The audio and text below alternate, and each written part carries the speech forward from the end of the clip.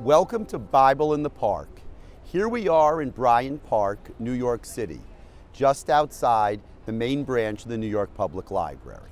In Exodus chapter 31, we have the continuation of the construction of the tabernacle and a description of the laws of Shabbat, of the Sabbath. And in many ways, the language that's used in the text kind of brings us back to the beginning of creation in Genesis 1. And I wonder what you have to say about kind of what we have here is a construction of sacred space, whereas at the beginning of Genesis we talk about the construction of sacred time. What's the relationship of these concepts in biblical text? So, the brilliance of the Bible in this chapter is it introduces a second element of the Sabbath.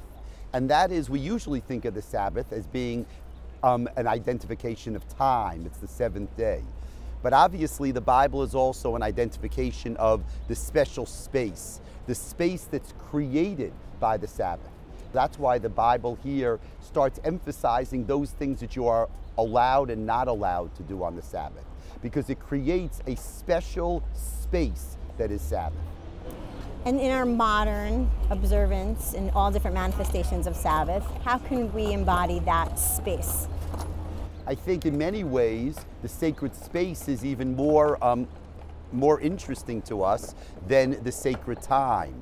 Sacred time means that there's every seventh day. But in the world which is so complicated today and which has so many electronic devices, to be able to say we're going to put all those away and that our space is going to be sacred is really something very, very special.